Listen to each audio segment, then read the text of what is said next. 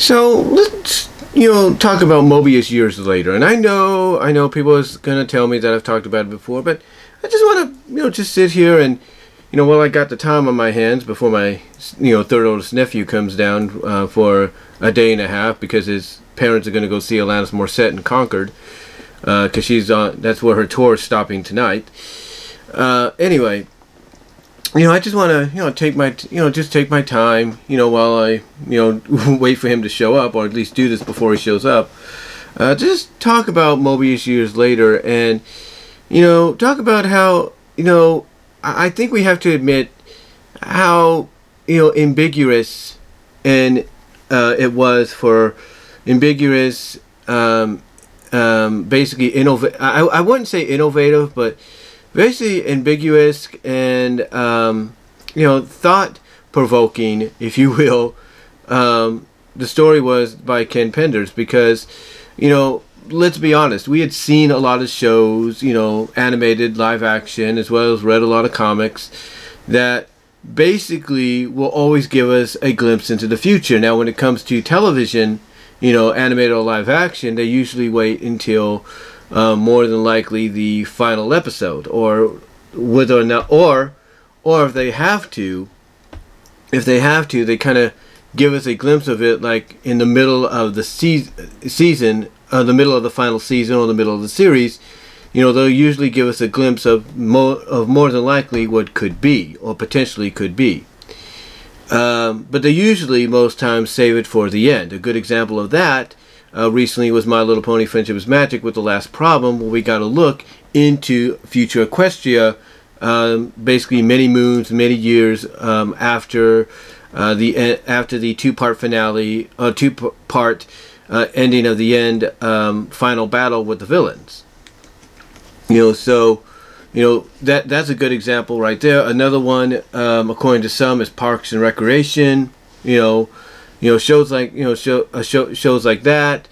As well as in comics you know we get a glimpse sometimes whether it's part of a story arc or it's to kind of give us an idea maybe of what the future may look like you know if things go a certain way uh, mostly positive. You know comics like x-men spider-man superman you know Bat, uh, batman wonder woman you know the list could go on. You know uh, you know avengers you know Iron Man, you know, Black Widow, Captain America. You know, the list could go on of, you know, comic books where we've got a glimpse into the future. Either it's towards the comic book's, you know, lifespan or it's in the middle of its prime to kind of give us, you know, an idea of what the future may or may not look like depending on a certain outcome, whether it's a positive one or a negative one.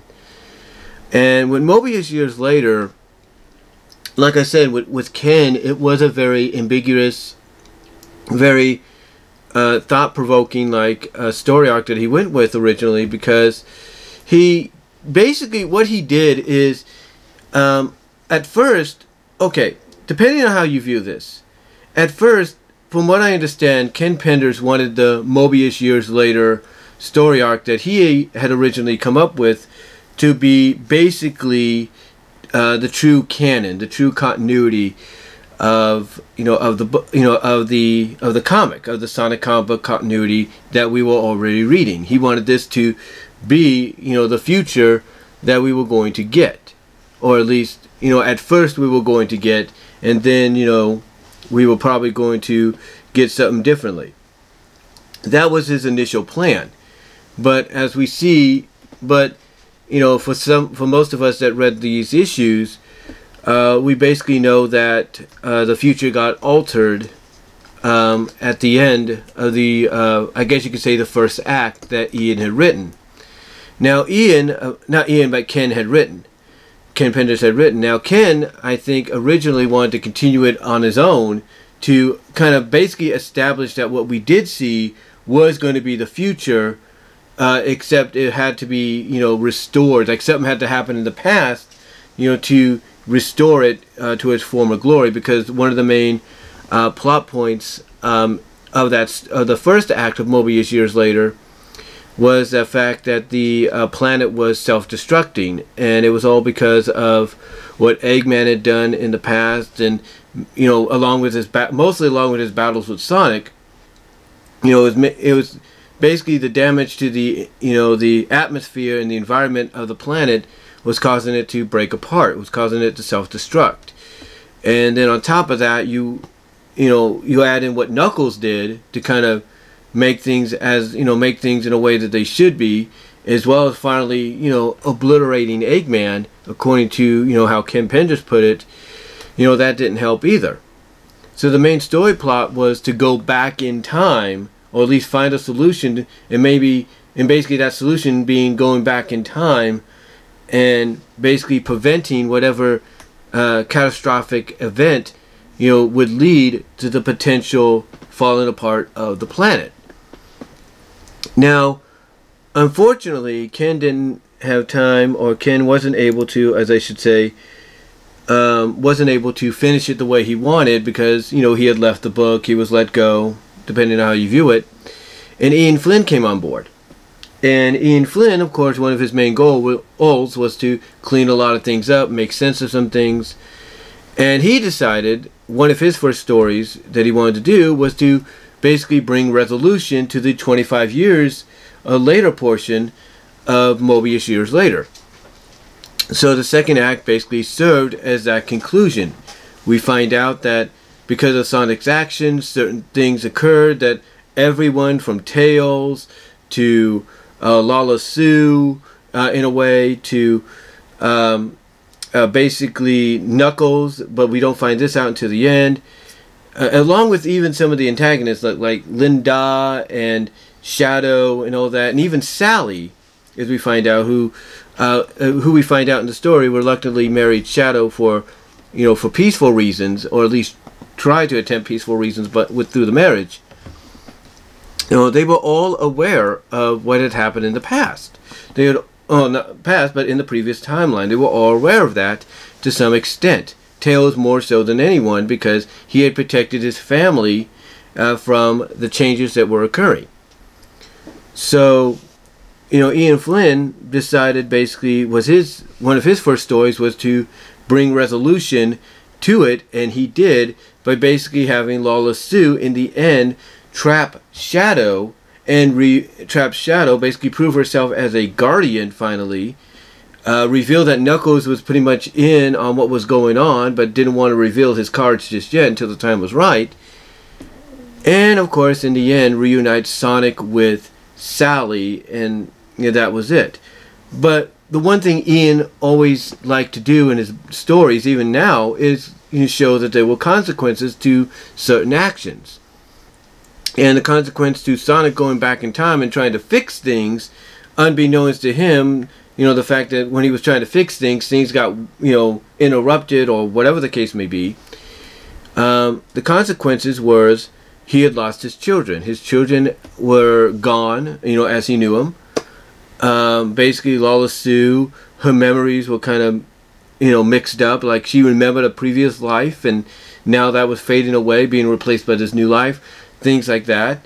You know, so you had these you had these moments.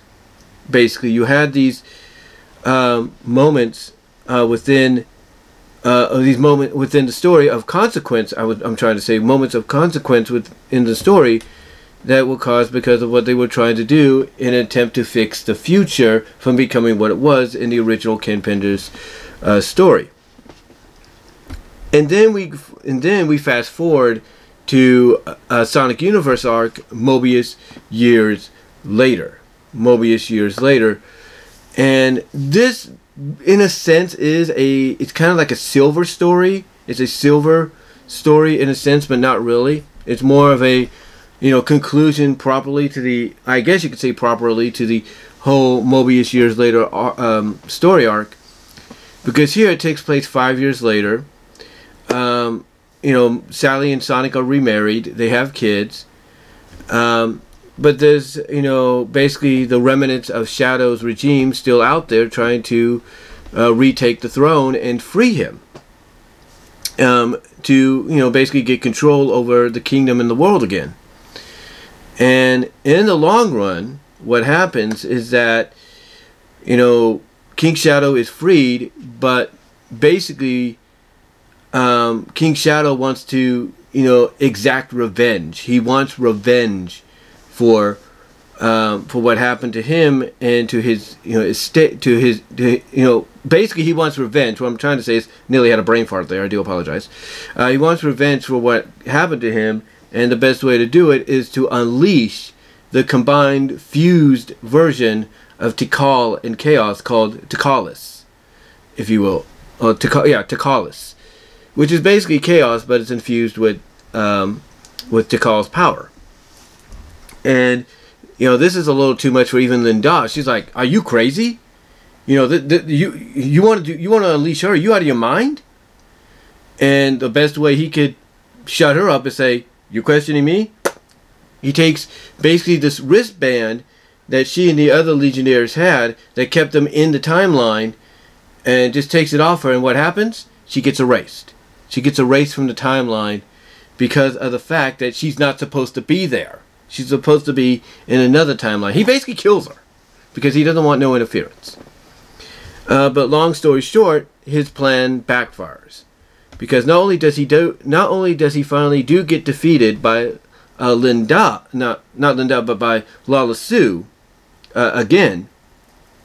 Not only does he get defeated by Lara-Su, but he, um, but basically uh, Lara-Su is able to use the power of the Chaos Emeralds, do the enchantment, and she's able to restore Tikal, uh, the fused version, back to her normal state. Um, and in the end, we ended up getting a new set of freedom fighters. And it's during this conclusion that not only do we uh, get to see um, the newer versions of Sonic and Sally's Kids, which were named after the Sonic Underground characters Manic and Sonia, but we also finally get to see Bunnie and Antoine's kids. You know, we get to see them, Jock, Belle, and obviously this, as well as we also finally get to see, um, uh, once again, we finally get to see what I'm trying to say, uh, basically Miles and Mina's kids, Tails and Mina's kids, that being Skye and, um, that's a uh, Skye and Melody. And apparently there's some teasing of relationships going on, you know, there with Jock and Melody and possibly Skye and Belle. You know, I don't really know.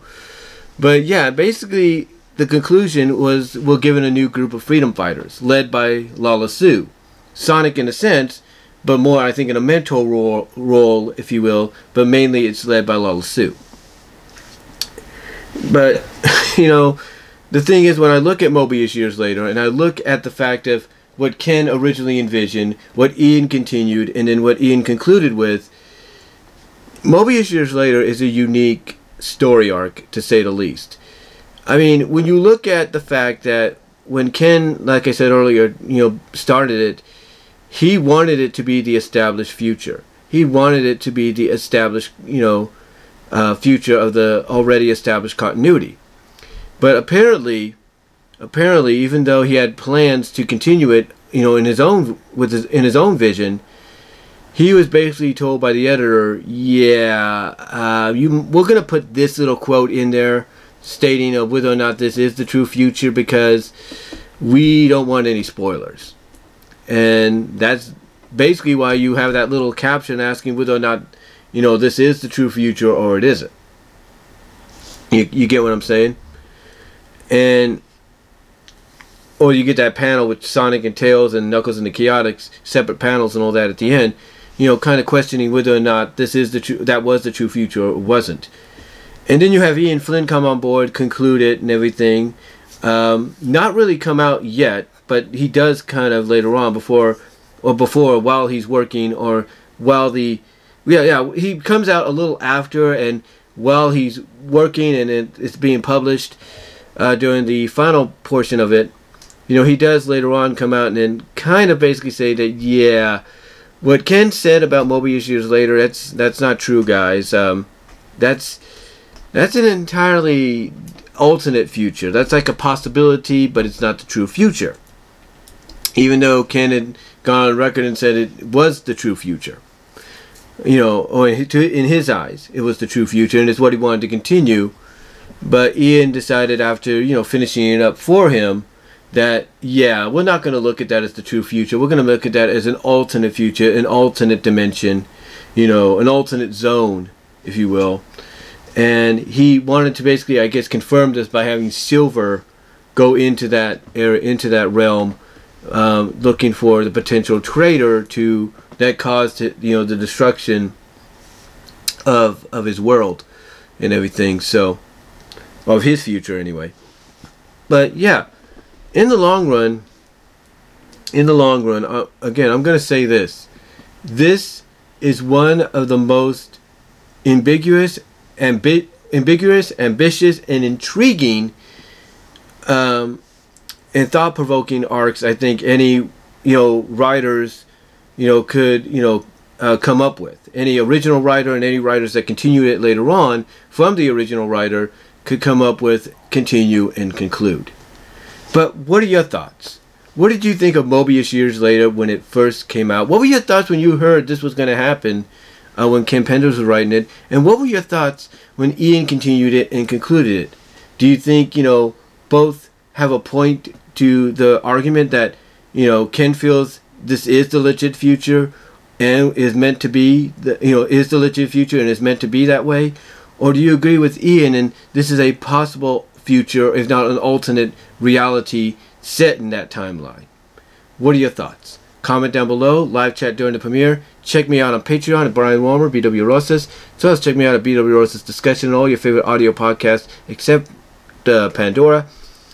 As well as check me out on BW Rosas on Vimeo for some content there you can't get here. Uh, as well as check me out at Teespring for some merchandise down below. So till next time guys, God bless, take care, I am out.